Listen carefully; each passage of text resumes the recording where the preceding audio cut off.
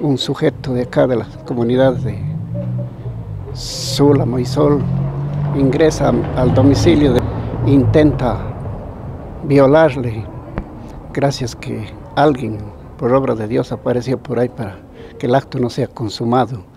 Y luego después este individuo, el día de ayer, en mercado municipal, en horas de la tarde, a las 4 o 5 de la tarde, aparece este man ahí nuevamente a esforzar.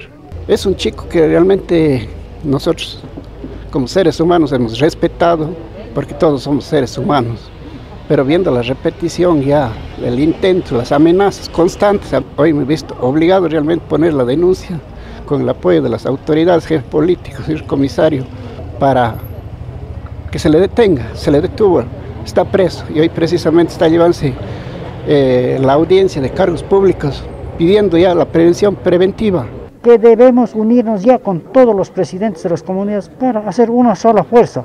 ¿Por qué digo eso? Porque actualmente no estamos tan, pero nunca pensamos estos casos que iba a haber. Primero el robo, después intentos de violación. Y nadie estamos libres, porque desgraciadamente esta gente va a pasar por todo lado. Razón por la cual ayer fue aprendido en el mercado municipal esta persona.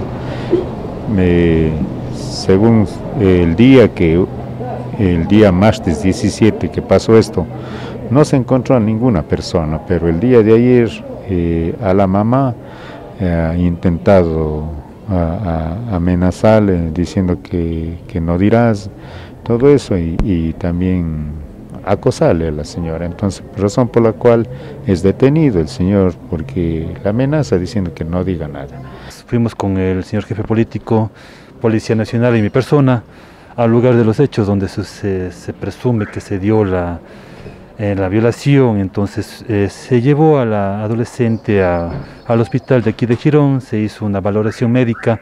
El acto no fue consumado, entonces no fue la presunta niña violada. Hay esa valoración. Este ayer, los días domingos, yo trabajo en el centro comercial Girón. El ciudadano se acercó a mí en estado etílico, estaba mareado y me dijo, y me dijo, no contarás, no contarás, no contarás. Y digo, entonces, ahí me pongo a pensar y digo, entonces fuiste tú el que se metió a mi casa el día martes, digo, y intentó abusar de mi hija. Y me dice, sí, pero con la cabeza y un poquito que hablaba. Entonces, me dice, también dice, tú también estás buenota. Y me mete la mano aquí en, en mi camiseta a tocarme los senos.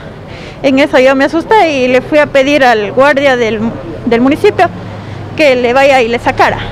Y mi hija le queda viendo y se asusta y comienza a, a, llorar y dice, es él, es él, mami, es él el que entró el día martes, le reconoció por la manera de cómo camina, dice ella, porque agacha la cabeza y también por el tono de voz.